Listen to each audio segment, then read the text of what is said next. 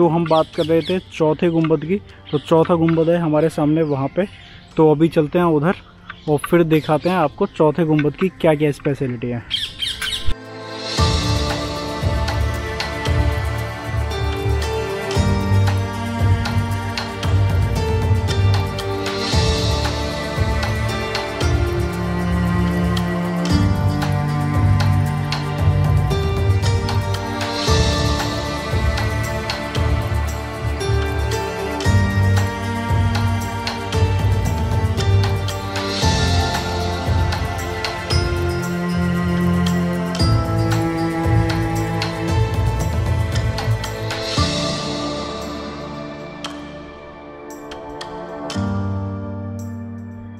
तो अभी हम आ गए हैं फाइनली जो हमारा चौथा गुंबद था वो देखने के लिए।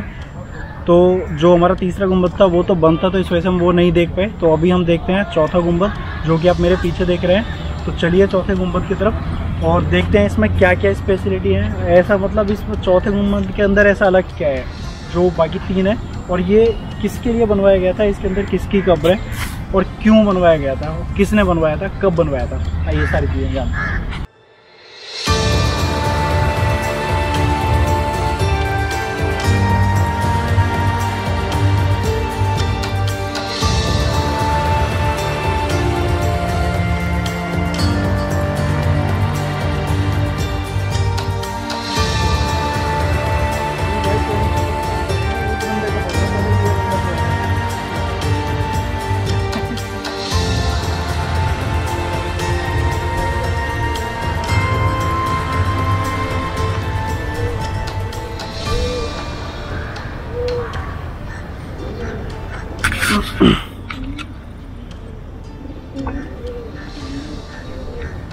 तो ये है चौथा गुंबद।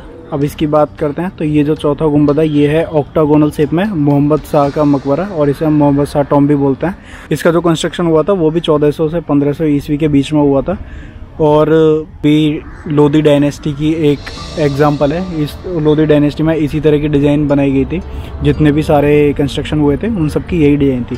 तो उस टाइम पे मेनली दो ही तरह की डिज़ाइन थी, एक तो स्क्वायर शेप में, दूसरा ऑक्टागनल शेप में।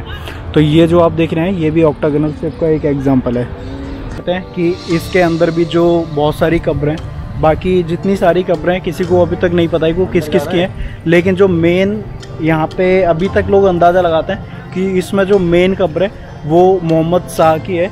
और वो भी सिर्फ़ अभी तक लोग श्योर नहीं है, जो भी वैज्ञानिकों ने जितनी खोज की है, वो भी श्योर नहीं है, सिर्फ़ और सिर्फ़ अभी सब सोचते हैं कि इसके अंदर हो सकती है मोहम्मद सैयद शाह की भी कब्र हो सकती है। तो एक बार अंदर से आपको दिखा देते हैं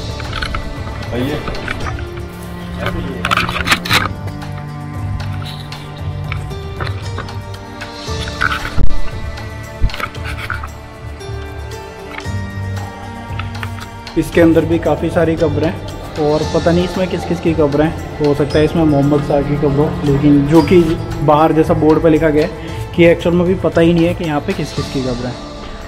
और ये जो डिज़ाइन है, यहाँ पे ये बड़े बड़े दरवाजे छोड़े गए हैं, अंदर की तरफ़ रोशनी जाने के लिए। और ये ही जो डिज़ाइन है, ये लोधी डायनेस्टी की एक एग्ज़ाम्पल है। तो बात करते हैं अब इंफॉर्मेशन की।